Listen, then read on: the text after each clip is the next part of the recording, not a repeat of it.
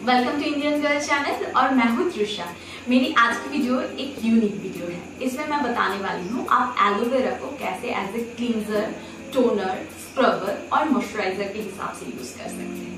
So let's check the video सबसे पहले aloe vera leaf लीजिए। आप चाहे तो एलोवेरा जेल भी यूज़ कर सकते हैं।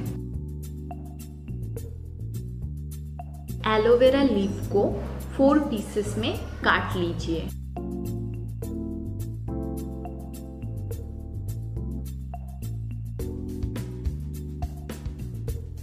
हर हिस्से को दोनों साइड से काट लीजिए, फिर ऊपर के हिस्से को निकाल लीजिए। एलोवेरा के बहुत सारे बेनिफिट्स हैं। इसमें vitamin C vitamin E and beta carotene है, जो स्किन को नरिश करता है।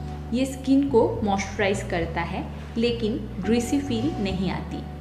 एलोवेरा में हीलिंग प्रॉपर्टीज़ है जो सनबर्न को ठीक करता है। ये स्किन के ऊपर एक प्रोटेक्टिव लेयर की तरह काम करता है और ये मॉइस्चर को लॉक करता है। इसमें न्यूट्रिशनल क्वालिटीज़ और एंटीऑक्सीडेंट तत्व है, जिससे स्किन जल्दी हील होती है।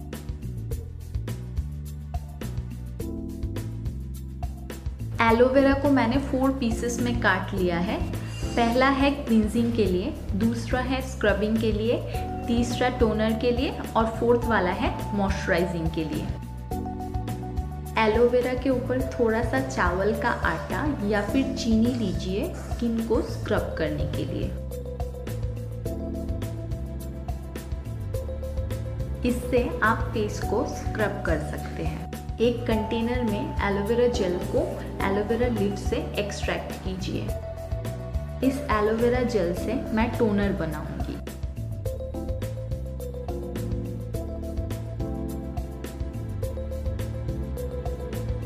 अब इस जेल में रोज वाटर मिलाना है। मैं टू टीस्पून रोज वाटर मिला रही हूँ।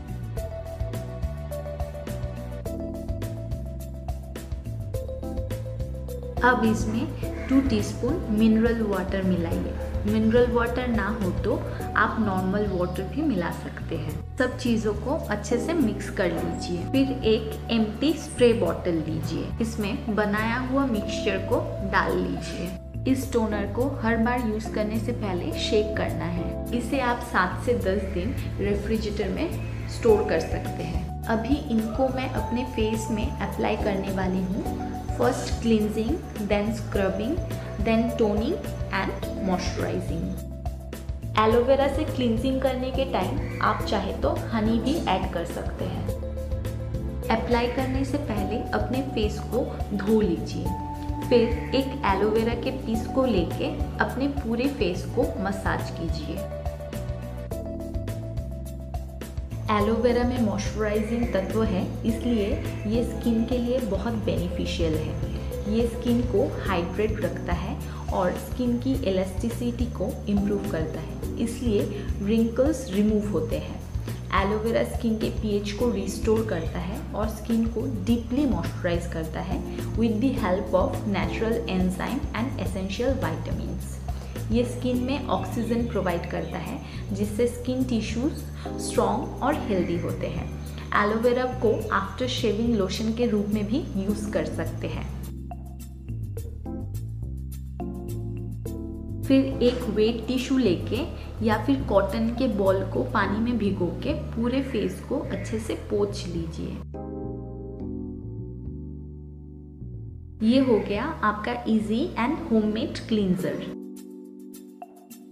अब दूसरा एक एलोवेरा का पीस लीजिए और उसमें चीनी या फिर चावल का आटा डाल के अपनी स्किन को स्क्रब कीजिए। एलोवेरा में antioxidant beta carotene vitamin E vitamin C है, जो स्किन को हाइड्रेट रखता है और एक्ने और स्कार्स के लिए भी ये बहुत इफ़ेक्टिव है। एलोवेरा डैमेज स्किन को रिपेयर करता है और स्किन सेल्स को रिजुविनेट करता है।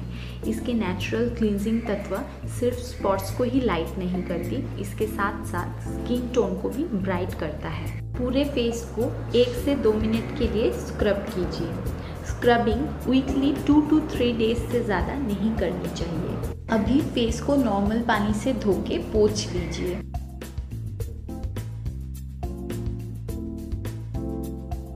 एलोवेरा टोनर को अपने पूरे फेस में अप्लाई करके ईयर ड्राई कर लीजिए।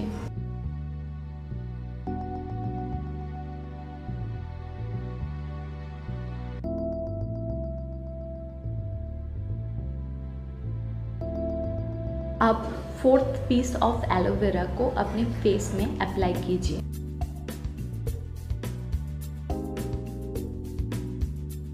एलोवेरा को रात में अप्लाई करके सो जाइए। सुबह उठ के आपका स्किन बहुत फ्रेश और ब्राइट दिखेगा। इस क्लींजिंग टोनिंग और मॉइस्चराइजिंग प्रोसेस को रेगुलर बेसिस पे 15 टू 20 डेज़ के लिए फॉलो कीजिए और वीकली टू डेज़ स्क्रबिंग कीजिए। ऐसा करने से आप विजिबल डिफरेंस पा सकते हैं। अगर आपको मेरा ये वीडियो अच्छा लगा हो तो इसे लाइक ज़रूर कीजिए। इस वीडियो रिलेटेड कोई भी सवाल हो तो आप उन्हें नीचे कमेंट बॉक्स में मेरे इस वीडियो को आप आपके फ्रेंड्स के साथ शेयर भी कर सकते और मेरे चैनल को सब्सक्राइब करना बिल्कुल मत भूलना। आगे से बहुत अच्छे अच्छे वीडियोस देखने के लिए। अभी के लिए बाय टेक केयर